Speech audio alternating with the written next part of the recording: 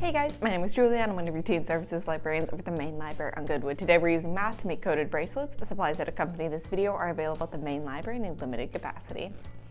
We're going to do things backwards this time because we need to know how this works. So let's talk about the math, or if you will, the explanation. When we count in everyday life, we use something called a base 10 or decimal number system. So bear with me. This means that every position to the left of a number is 10 times the value of the number to the right of it. So we start off with the ones and then we bump up over to the tens place and the hundreds place and the thousands place and so on. And each time we move to place value, it multiplies by a factor of 10. So if we had the number uh, 24601, we understand that this means there is one in the ones place, there's nothing in the tens place. There are uh, six hundreds, four thousands, and uh, two 20,000s. And if you wanted to add one to this number, you would just add another one to the ones column and bump that up. And then if you wanted to add nine to this number, you would um, run out of places in your ones column and you would have to bump things over to the tens column and then leave the ones column blank. So if we have 19 kangaroos and we add one, we're not gonna say we have one and one tens kangaroo, we're gonna say we have 20 kangaroos. Honestly, if you don't have any numbers in a column, you just put a zero in its place to represent it. So if you're saying the number 403, we know this means there are 400s and zero tens and three ones, but we wouldn't say put anything else here other than a zero to represent that. We wouldn't put a little emoji. We wouldn't just leave it blank. We wouldn't do any of those other things with it. There's no rule that says you have to use decimal for everything though, and there's actually a lot of scenarios where it makes sense to use something other than decimal. Today we're going to talk about hexadecimal, which is works exactly like a base 10 number system, except that everything is based on the number 16, and there are 16 digit options. Okay, let's tackle the 16 digits thing first. So in uh, decimal, you're gonna have the uh, digits zero through nine, and that represents everything you need. And you have those same numbers in decimal. The problem is that after you run out of um, places in it, you don't have a way to represent 10 through 15 in a single digit format. So instead of using other numbers for that, we start using letters. So 10 would be A, 11 would be B, and so on. And we with F being 15. And I know that it's weird to see letters as numbers, but there's no rule in the universe that says that A has to only ever mean the English letter A. In this case, A is going to mean 10. So in hexadecimal, the ones column is still going to be for the ones, but when we bump over to the next place value, it's actually going to be for the 16's place value.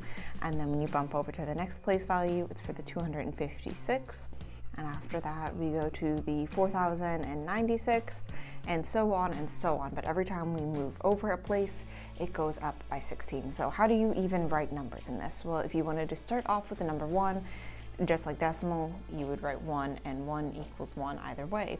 Same thing with anything up to nine. But when you start writing uh, at 10 maybe you're going to start with a for it and I know that still seems weird for letters, but it's fine. So if we wanted to write 15, we would write F for 15.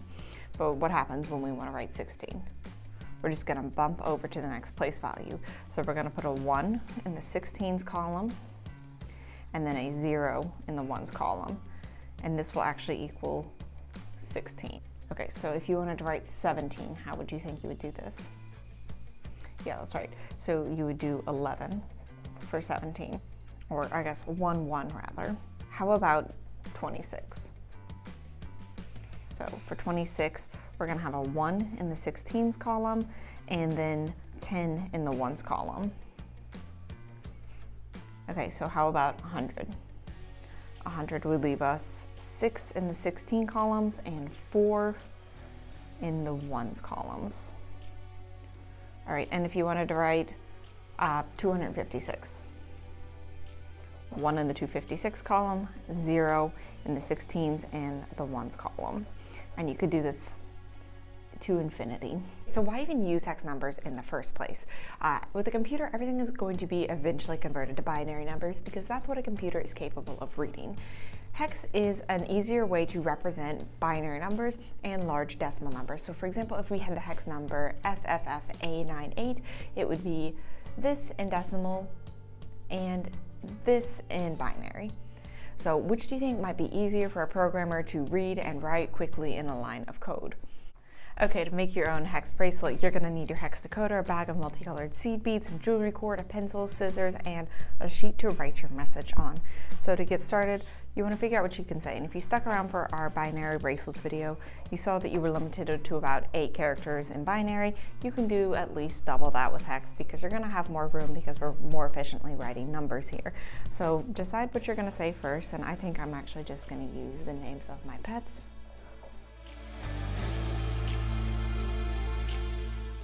All right, and once you've got your message down, you want to write the numbers that go along with it.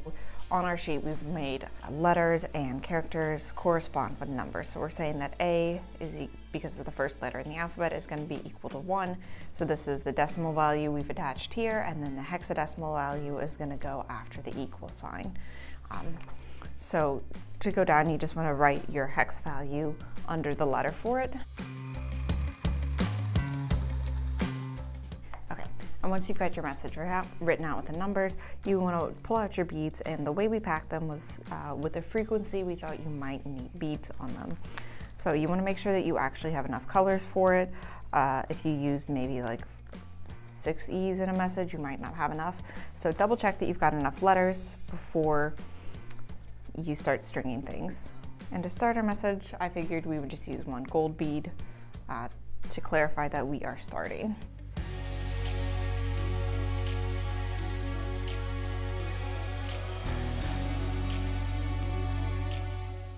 Right, so when you've got your message chosen and you've made sure that you have enough beads to make your message work, you wanna go ahead and start stringing your beads. So you can take your jewelry cord, uh, and this is fun jewelry cord because it glows in the dark, and then you wanna start stringing your beads on, and they are very tiny, so be careful with them.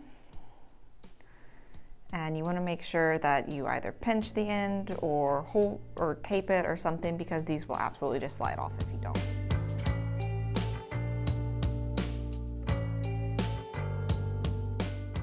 When you've got your whole message set together, it's helpful to tie a knot so the beads don't slide too much on either end of your message.